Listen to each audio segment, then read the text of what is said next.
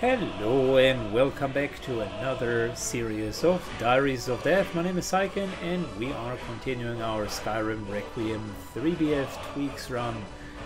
I figured after recording most of the sessions it would make sense to put a bit more framework around all of uh, the runs. So this is really the ex post introduction.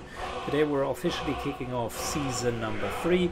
As a recap, we want to progress through tier 1 content, tier 2 um, finish progressing through tier 1 content with many of the runs. Then there will be a vote, and then whoever gets voted can start clearing tier 2 content or one uh, of the tier 2 contents, and so on and so forth. Let's see who would survive the entire ordeal.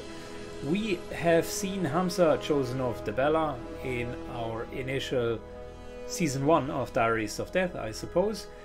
We have then seen in season 2 Ron the Snake fail to finish the quest line around the Dark Brotherhood. And now, drumroll, we are looking at season 3 of Diaries of Death.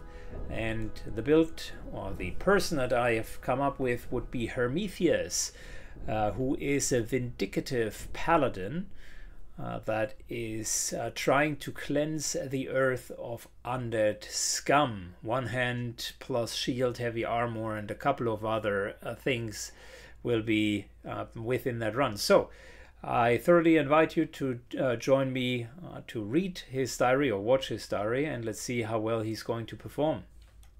Off we go.